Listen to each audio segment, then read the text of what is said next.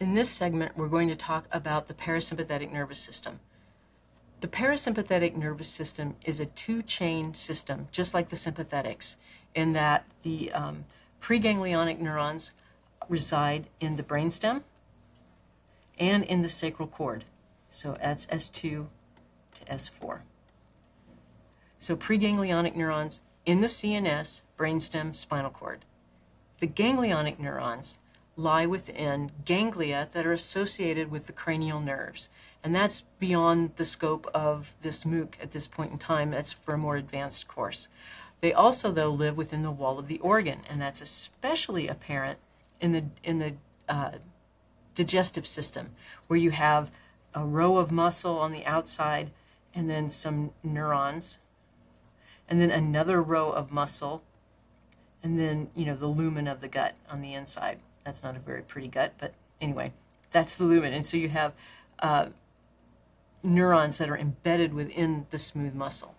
And then the target is very close. So if you're um, a ganglionic neuron associated with a cranial nerve, you're going to be somewhere out here on the cranial nerve, and then you're going to be very close to the eye. Um, if you are a cranial, if you're a sacral preganglionic neuron, you're going to go out here and your ganglion is actually going to be inside the gut wall, which makes the next slide make sense.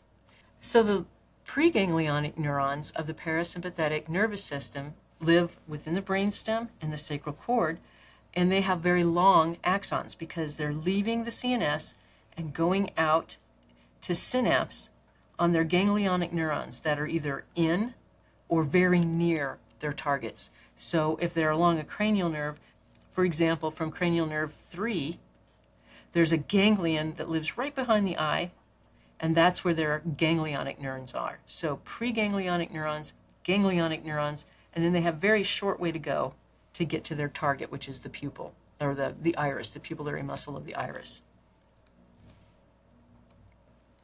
The neurotransmitter used by this, the parasympathetic nervous system is acetylcholine both the preganglionic neurons that live within the brainstem and spinal cord and the ganglionic neurons that live in ganglia associated with cranial nerves or the ganglia that lie within the organ itself both use acetylcholine.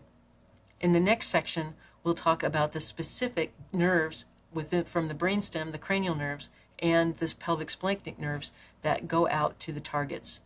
So the next section, we'll talk more about the parasympathetics.